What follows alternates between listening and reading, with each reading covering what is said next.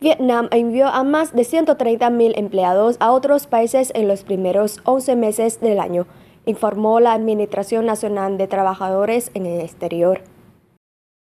Japón fue el mayor mercado receptor de mano de obra vietnamita en el periodo, con más de 71.000 personas para un incremento interanual de 16,64%, seguido por Taiwán, China, con casi 50.000 trabajadores, lo que representó una merma de 12,72%.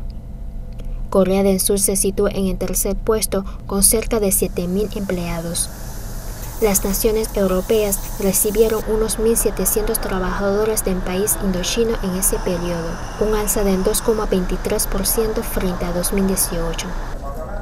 El número de empleados vietnamitas enviados a países de Medio Oriente representaba solo en 1,05% del total, y Arabia Saudita recibió el mayor número con alrededor de 1.100 personas.